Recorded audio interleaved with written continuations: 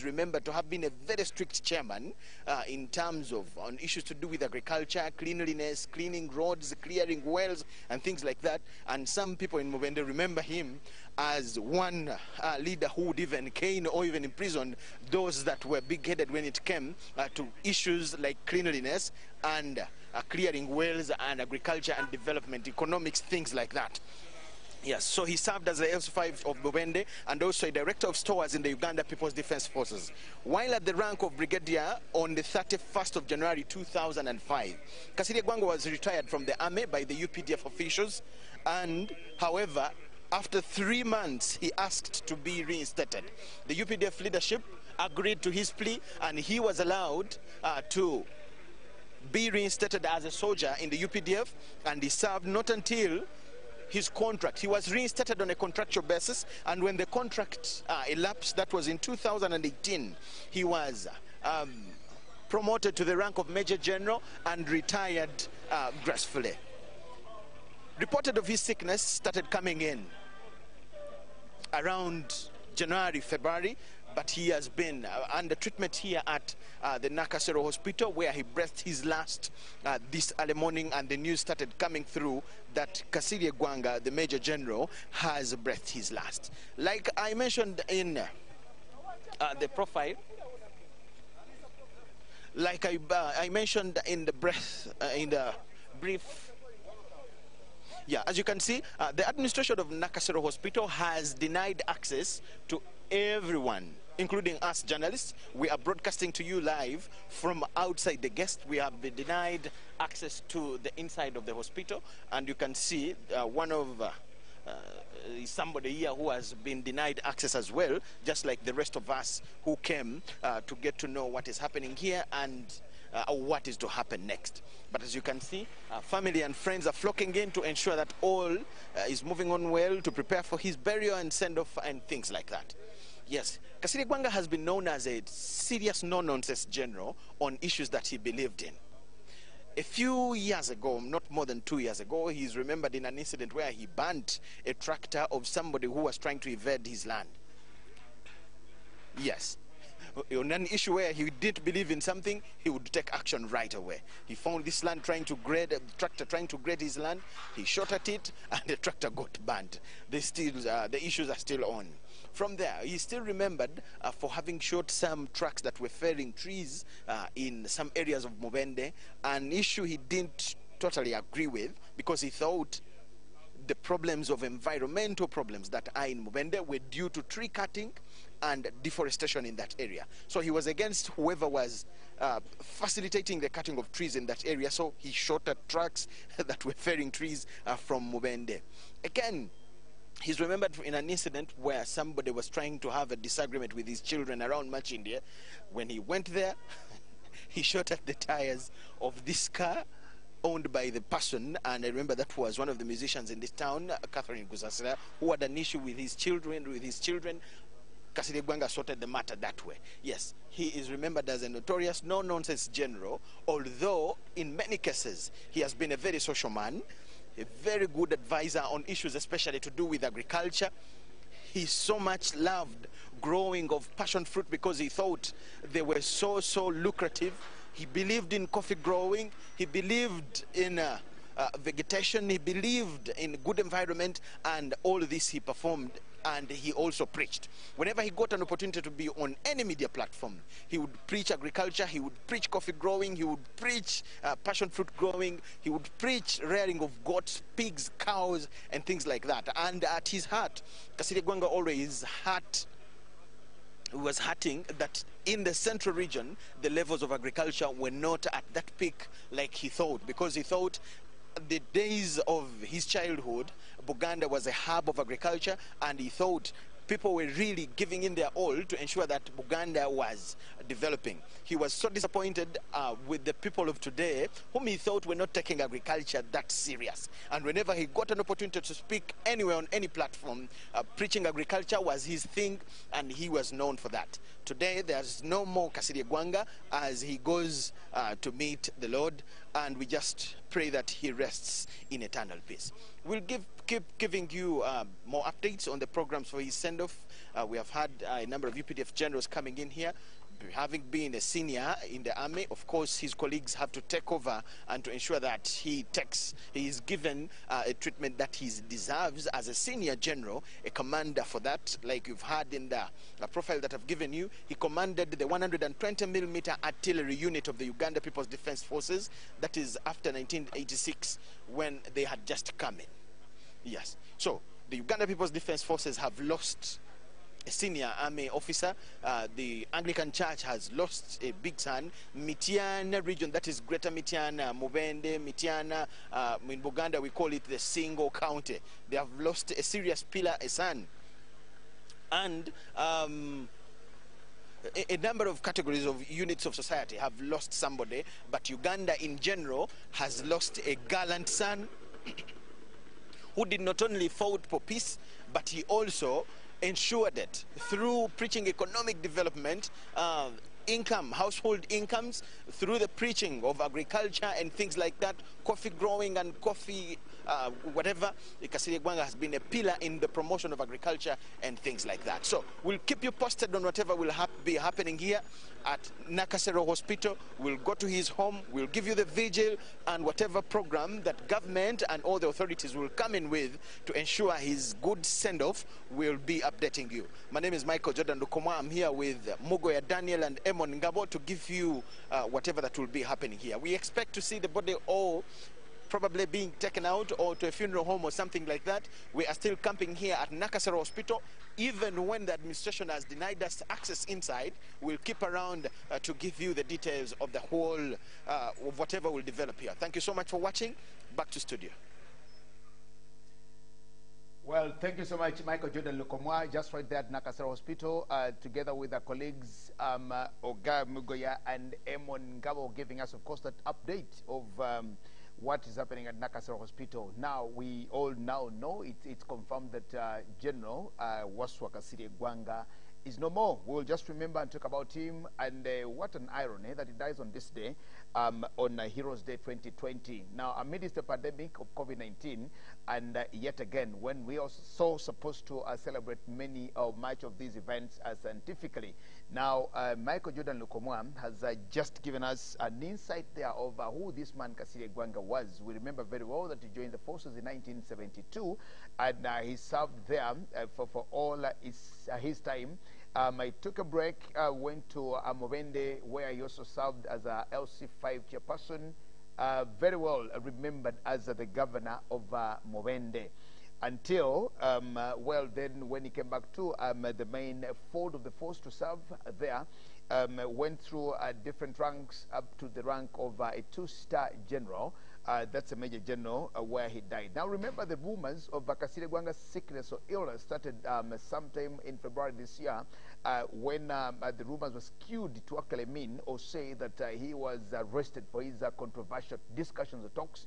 Um, but he was taken to Mbuya Military Hospital for treatment thereabout and um, um, he's battled with that illness until this day when he finally goes to live and be uh, with the Lord. Waswa Kasirye Gwanga will be remembered for uh, lots of controversies and a number of things, but above all, is uh, served this country. Um, he's been a military man. His, uh, his whole life has been uh, in the forces. He's served in the forces all through and all through. Now, Kasirye Gwanga has got a very rich history of uh, how he even joined or how he even comes into uh, the national resistance movement, um, how he joins. Now, remember in 1972, at that time, Idi Amin Dada uh, Field Marshal President uh, Idi Amin Dada was the president of Uganda. He'd just um, come to power, and of course, that's the time um, when Kasirye Gwanga joined as an officer or as a man of uh, the Uganda Army. Um, he served there. He served in. He served in uh, Idi Amin's government and the subsequent governments until uh, this time round when he meets his death as a two-star uh, general at the age of uh, 68. Now, Kasirye um, starts uh, on the 9th of uh, June in, uh, two, um, in 1981. Now, this was only 123 days um, uh, when the NRM had lodged or started their uh, guerrilla war, uh, that protracted war that ended um, on the 26th of January 19 1986. Now, Kasirye Gwanga was um, one of the men there who were actually fighting alongside uh, the government forces uh, to see how to actually now liberate Uganda uh, that was riddled in a number of problems at the time when human life was not dignified at all. Now, Kasirye Gwanga, when this government came into power, has been uh, one of the people there. Very controversial. He's been an advisor of the president on security issues, security affairs, on Buganda issues, and a number of things. And um, we'll remember him for all the things uh, that he's done. Apart from being a soldier, um, uh, and actually used to refer to himself as a soldier's soldier. That, that's what he used to call himself. He used to call himself a soldier's soldier. Now remember that Kasirye Gwanga is one of the very few uh, UPDF officers who have attended the most lucrative uh, military academy in the world. That's um, uh, the uh, Leavenworth, the, the Fort Leavenworth University in the U.S. or military academy in the U.S. Um, Kasirye Gwanga is, is one of those men. When President Museveni um, um, actually one of the reasons why President Museveni also uh, uh, came out to uh, fight the HIV pandemic or the HIV epidemic. Uh, Kasirye Gwanga is one of the men who actually uh, taken to Cuba uh, during the times of Fidel Castro, and all of them had to go mandatory uh, testing uh, for HIV AIDS. Uh, when most office, officers of uh, the UPDF at that time refused, of not the UPDF but the NRA, most officers of the NRA at the time um, feared to go through the mandatory HIV tests. Kasirye Gwanga was one of those who said, I'll dare you and do the test. Now, Kasirye Gwanga ha has been a man of his own stature. Uh, we'll not have another Kasirye Gwanga. He's the only Kasirye Gwanga that we've had. We'll remember him for uh, the service rendered this country of Uganda, especially from 1972 when he decided to put on uniform and uh, to liberate to serve this country, Uganda, patriotically as he's done. Now, um, uh, uh, he covers a part and much of uh, today, but we also need to remember that um, on this day, um, uh, on this day, we also remember uh, Kano um, Ibrahim Abiriga, member of parliament from uh, Arua municipality, was also gunned down just yesterday. Now, this period reminds us a number of things. Uh, we remember that in 1998, um, yesterday, 8th of June, is uh, when uh, the ADF rebels uh, torched uh, the students in Kichwamba Technical Institute. Uh, that was yesterday uh, in 1998. Now, yesterday in 2018, Ibrahim Abiriga was also gunned down. And we remember now that um, on this day today, uh, we also now lose General Kasirye Gwanga. Now, that is for this particular period. And we also remember that um, um, we started celebrating this day, Heroes Day, in 1990. And now, when we talk about 1998, when we had that Kichwamba infant the Kichwamba massacre, which was also very deplorable, and remember it in our history. Um, uh, the masterminds of that uh, uh, uh that uh, particular uh, um, massacre there is now the man Jamil Mukulu, who is actually in prisons. And in Rwanda, just a couple of hours ago, um, in prisons where he was, he was also asking for bail. And because it's rule of law, we also wait to see and to hear what that happens thereafter. You also remember that uh, the late uh, Dr. Apollo Milton Obote, uh, former Prime Minister and also former President of Uganda, uh, died on the 10th of um, October in 2005. Now, um, so many people had actually wished that uh, Dr. Apollo Milton Obote would have died on the 9th of October, uh, but of course, because none of us has um, right over life, uh, we uh, couldn't choose that uh, Dr. Apollo Milton Obote dies on the same day. But of course, um, uh, the talk there that was there was uh, the man who uh, delivered Uganda to independence in 1962 on the 9th of October, actually died on the 10th of October 2005. But of course, he was not um, in Uganda at that time and um, he died from in South Africa. Now, that's um, part of what continues to happen. And um, like I said, uh, God's ways are not our ways. Now, that's about Kasirye Gwanga. Michael Jordan Lukomwa in Nakasero Hospital, where they are, they will get the details and give us and feed us with the information and let us know um, how this is going to be done. Remember, uh, the celebration is going to be done scientifically. Um, how it will be done is another thing now that we leave to the organizers. Now, uh, that is uh, um, at the discretion of the Uganda People's Defense Forces. Uh, the forces there will let us know, uh, will teach us, and of course we'll. uh, um, enable us to understand how it's uh, going to be done or celebrated. Now, burial arrangements and when he'll be buried is something that we cannot delve into right now except to and now just uh, bereaved together with the family uh, to allow them accept our condolences to pray with them and uh, to uh, put and to usher them into the hands of god uh, to console them and to be with them as we can only say uh, for kasirye gwanga uh, may his soul rest in eternal peace may he go and rest peacefully with uh, his ancestors until when we all meet in eternity. Uh, just like um, uh, the prophet of old David said, My son has gone to be with the Lord. I cannot return. Uh, he cannot return to me. It's me who shall go to him. Now, the same way, um, uh, Kasirye Gwanga cannot return to Uganda or to Ugandans. It's we now who shall go to uh, where he is actually gone. Now, back to Heroes Day today. Heroes Day is um, uh, the day that we're celebrating, going to be very scientific. And um, amazingly, um, the day had not been chosen for where the celebrations would be. Now, this day's celebrations, because they are scientific, we're going to see another event, just like we saw at the event that happened on the 1st of um, uh, May, uh, Labor Day celebrations that were held in State House. This year's only public event or national public holiday that we've uh, uh, managed to host as a country is uh, the public holiday that we had in Mbale, and that was uh, the International Women's Day celebrations.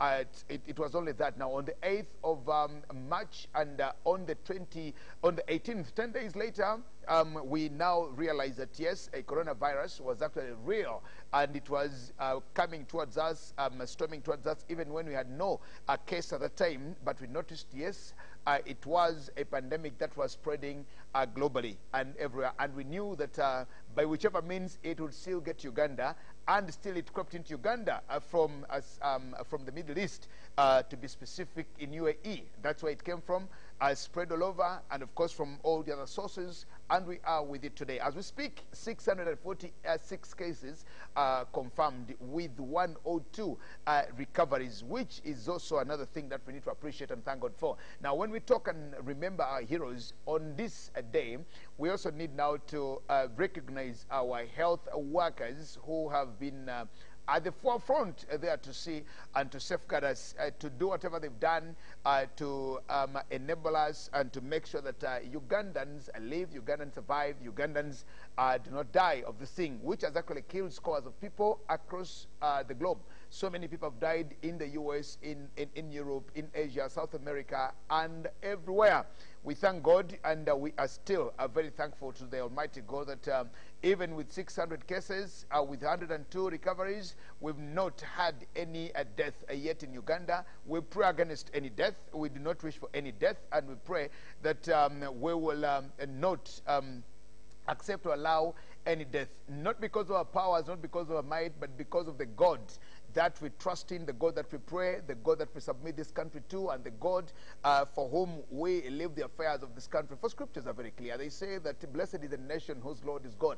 And because Uganda is for God and my country, we know that this country is God's country, and uh, this uh, country will continue to be protected uh, by that same God who uh, keeps us, who guides us, who guards against us, who protects us, and who does um, all the things uh, for us. Now, as you can see, uh, just right there, uh, the, um, uh, uh, the, the band just ready to receive the president, um, who, when he steps over and comes on, I am just also very sure that the president has received the bad news of uh, one of his uh, own men, uh, General Kasirye Gwanga, and I can just imagine that um, his mood could have uh, changed from what it was before the news of Kasirye Gwanga uh, to now uh, when the news has been broken to him that um, his general, um, Kasirye Gwanga, is no more. He's gone to be with the Lord. Remember that um, uh, the fortunate bit about the death of Kasirye Gwanga is uh, he's not died of an accident, um, uh, he's not died of recklessness, he's not died of, uh, he's not been assassinated, he's not, he's not been shot dead, he's not died in a, a, domestic brawl, he's not died in a bar fighting or doing all the things, he's died of natural causes. And so um, that, that, that's one thing that uh, I, I, am very sure that the family must have uh, felt the contentment of uh, having an opportunity uh, to treat their own relative, uh, to uh, maybe even be with him at that last moment, uh, to say bye to them and to hear those last words or the last confessions uh, that he possibly, um, if he had an opportunity, to speak out or to say anything for the family. It's not the same as just being told that um, your family member, your colleague has actually died, like we saw Abiriga being shot dead when he was going for um, his um, prayers uh, during that uh, holy month of uh, uh, Ramadan. And uh, many, um, of, of course, and, and much more of what is happening there. Now, um, this particular day, like I said, um, uh, has its history uh, from a man called uh, Edidian Muchibi Rutamaguzi and nine others. Uh, who sacrificed when they were um, arrested by the UNLA uh, forces um, asked to reveal the whereabouts of uh, Yoweri Museveni and uh, his NRA fighting men. Um, had they uh, succumbed to the pressures of the UNLA and uh, revealed um, uh, the whereabouts of Yoweri Museveni and his men, then that would actually have been uh, the end of Museveni and uh, his struggleists. And maybe this day wouldn't be here. Or it would be here, of course, definitely, but in a different shape, uh, with different players, different characters. And uh, that's why uh, we need to uh, remember them. I just do not know what runs in the head of uh, Yoweri Kaguta Museveni, the president of Uganda. Today, when he remembers his friend Edidian Muchibi Rutamaguzi, I do not know what runs in the heads of uh, these uh, fighting forces or these fighting uh, men um, uh, who actually knew that uh, their lives were hanging by the thread um, um, uh, at just the confession or the refusal to confess by Muchibi Rutamaguzi. Uh, what about if Muchibi Rutamaguzi had actually confessed uh, that uh, this is where the men were? What would have been uh, that? So, so this is the day that we're celebrating today. Now, this day was first celebrated in 1990, and this, to be precise, is uh, 30 years ago. Uh, when we started celebrating this day. It was gazetted and, of course, um, by an act of parliament, um, made an official uh, public national holiday um, uh, in the 2001 um, Act. Um, when Parliament passed an act in 2001 that this day will be a National um, Heroes Day that we celebrate today.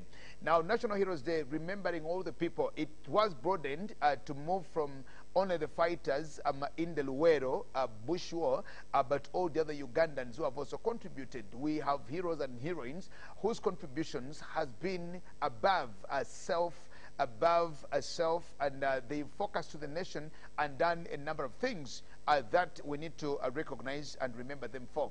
Now, one thing that we remember about such days is uh, the glamour that comes with it, the tradition and the organization that comes with it. Is that this day, uh, to be specific, is normally celebrated or organized in uh, places where the fighting was, because that's why it makes much more meaning.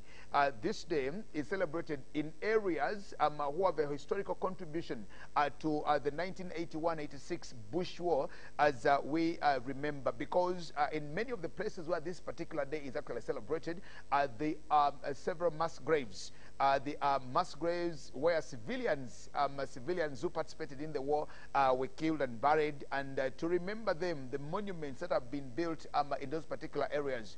In tour, 2018, you remember when you went to Birembo, and the Prime Minister of Ethiopia, Abiy Ahmed, visited, and that was one of his um, uh, uh, made and state visits as uh, Prime Minister of Ethiopia. He came to Uganda, and of course, um, he uh, was in Ibirembo, where that um, the, the, wreath was laid to uh, the mass grave in Ibirembo for the fighters were there. And to be specific, at that particular place in Ibirembo, where there is that um, particular mass grave, um, we also told the history of that place that um, um, President Museveni was actually around that same place uh, I think preparing lunch or uh, and we told the, the meal that day was I think cassava uh, uh and, and and the shooters uh, from the hills of if you've been to Virembo to Kasambia I think it's called Kasambia Virembo in Bukomero not, not Bukomero Virembo in it's actually Virembo in, in that particular part of um, Uganda in Kakumiro um, in, in Kakumiro. Um, they say uh, they were actually uh, shelled and um, they, they only survived by whiskers uh, to uh, not to die on that particular day. So, so there are lots of memories on this particular day. Now, just recently, uh, last year we saw uh, this day was celebrated in Kasanje, where they saw saw another mass grave. Now, Kasanje, uh, being that cradle or that peninsula uh, that connects um, Wakiso, Entebbe to Mpigi and a number of places, you, um, its history um, is also another very good history. That many of the fighting forces at that time, the UFM, the uh, UFM, uh, FEDEMU, and, and, and other fighting forces. Uh, I think even the NRA, um, also many of them actually camped in those particular areas uh, to see because it was actually easier uh, for that particular area uh, to cross to uh, the lake, um, uh, Lake Victoria and, and possibly cross. And we actually know that uh, it was at that particular place there where President Museveni actually crossed uh, to uh, crossed by water to go to uh, Nairobi and I think eventually to uh, Tanzania. Then um, uh, he found his way of how to escape and run away from uh, uh, the forces that were uh, looking for him. So, so we will. Uh, uh, Heroes Day is celebrated in many of the places where uh, some of uh, those historical uh, uh, uh, sites are, uh, where it, it's got that history uh, to um, the contribution of uh, the Liberation War. Now, the other thing that we also experience on this day is that the medals that are normally awarded to the different individuals uh, whose contribution is, them, is eminent uh, to liberating uh, Uganda. Now, this is what we'll continue to miss out uh, during these um, uh, scientific um, uh, celebrations that we mark. For example, this year's uh, 2020 um, Heroes Day celebrations. One of the things that, of course, we'll miss out on is the scientific the scientific, um, I beg your pardon, the scientific, but um, the, the word of uh, medals uh, that would see uh, the different speeches, of course, uh, from the different players and the memories that people um, have and have about uh, these uh, particular days or these particular events. And so uh, that's uh, what we celebrate on this particular day when we talk about um, Heroes Day. Uh, it's, celebrating men and women, uh, the heroes and heroines, um, uh, whose selfless contribution um, uh, uh, at the national level that supersedes, goes above self, is what we are experiencing. And of course, um, when you look at that, there is um, everybody seems to be set, waiting for uh, the president of Uganda to also uh, now come and speak uh, to the nation. Uh, it's going to be celebrated scientifically, and um, whether the president is going to uh, be there or if rather means is that you have nothing to worry about. Our responsibility, our national mandate, our duty is actually to deliver the president to you uh, from uh, wherever he will be uh, for you to be part of our Heroes uh, Day today. But like we said, um, uh, Heroes Day today is also um, now, eh, we, we, we will celebrate it as we remember uh, General Waswa Kasirye Gwanga, who has also just died uh, today on uh, Heroes Day. It will be very easy for everybody and many of us to remember uh, Gwanga's day of death because it has happened on a day that we celebrate heroes. And um, uh, to many people, they thought uh, this was a hoax when uh, the news started flying by and around on uh, social media platforms saying that uh, uh, has died and gone to be with the Lord, many people thought maybe it is um, just a hoax of uh, the day. But um, our teams, uh, of course, they are in hospital. Jordan Lokomwa and, and the others have confirmed to us. And of course, now uh, following through with what is happening, uh, newsroom is preparing and will get us to. They will get us uh, the details of. Um, uh, this day, and of course, what happens thereafter uh, for um, General Waswa uh, Kasirye Gwanga. We'll take a break, and um, as uh, we also again prepare to uh, bring you uh, the president of Uganda, who we guess um, is about to speak uh, to the nation uh, today on this uh, Heroes Day. Now remember that uh, the celebrations are going to be done like that. There will be speeches, of course, uh, from the different stakeholders, as is normally the norm and as is the custom of celebrating this particular day. My name is Jaga Nasimakola. We'll take a break as we uh, still prepare for the president uh, still to come through to us here on uh, UBC TV. Just stay tuned and uh, do not go away as uh, we wait for the president to speak to us.